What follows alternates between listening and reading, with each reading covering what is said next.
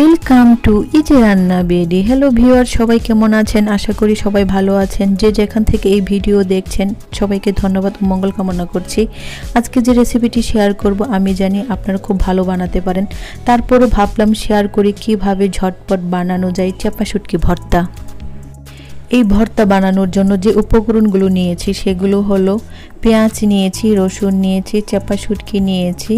আমি এই পেঁয়াজ, রসুন এবং চাপা শুটকি ড্রাই রোস্ট করে নিয়েছি, কোনো তেল দেইনি। আমি এখন এই সব উপকরণগুলো একটা গ্রাইন্ডার জারে নিয়ে নিচ্ছি। আমি এখানে কিন্তু লবণও দিয়ে দিয়েছি। এখানে চাইলে আপনারা শুকনো মরিচ ভেজেও দিয়ে দিতে পারেন। আমি এখানে দিয়ে দিচ্ছি দুই টেবিল চামচ পরিমাণ চিলি ফ্লেক্স। এখন দিয়ে দিব ধনিয়া পাতা। আমি ধনিয়া পাতা ভালো করে ধুয়ে ঝরিয়ে নিয়েছি। এখন আমি সব উপকরণগুলো পেস্ট করে নেব। চাইলে আপনার এটা পাটাই বেটে নিতে পারেন। আমি বেশি পেস্ট করব না, হালকা পেস্ট করব, শুধু শুটকির কাটাগুলো যেন চূর্ণ বিচূর্ণ হয়ে যায়। রেডি হয়ে গেল আমার ভর্তা। আজকের রেসিপিটি কেমন লেগেছে সবাই লাইক কমেন্টস করে জানাবেন।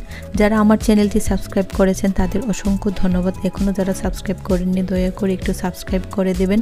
আজ এখানেই রাখছি। সবাই ভালো থাকবেন, সুস্থ থাকবেন। আবার হাজির হব নেক্সট টাইম নতুন কোনো ভিডিও নিয়ে। সে পর্যন্ত সবাই ভালো থাকুন। Thank you for